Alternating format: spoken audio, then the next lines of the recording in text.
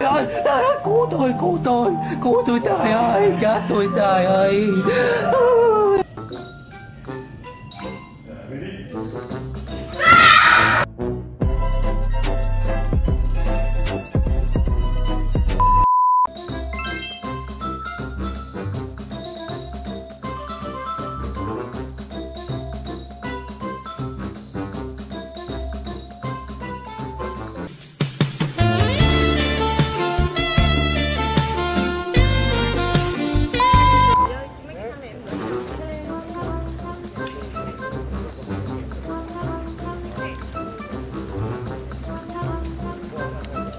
nói Tôi đau đớn Tôi gục ngã.